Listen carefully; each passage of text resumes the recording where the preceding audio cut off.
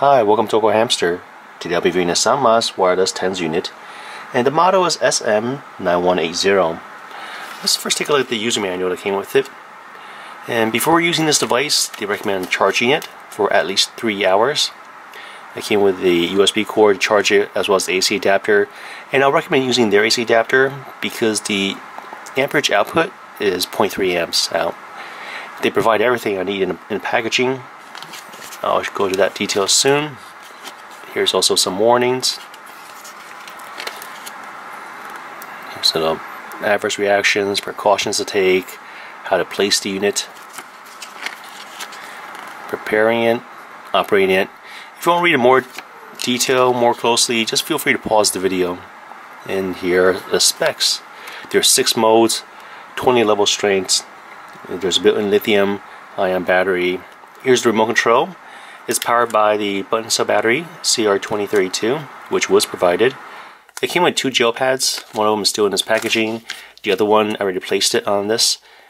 And for the plastic parts, the, which the gel pads were resting on, save it. That way, when you're not using the unit, just place it over gel pads to better maintain it. Here's a closer look at the information printed on it. Input 3.7 volts, lithium battery, and also I'd like to mention that this unit automatically shuts off after 20 minutes.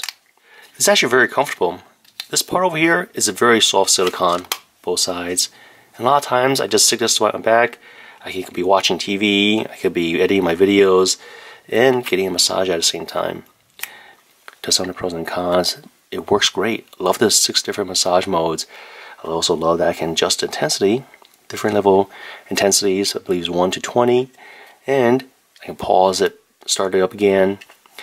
The battery life is actually quite amazing. So far for myself, I haven't had to use it for more than like an hour and a half, but the battery life is, is rated to last more than three hours. And putting this on your skin is actually very comfortable.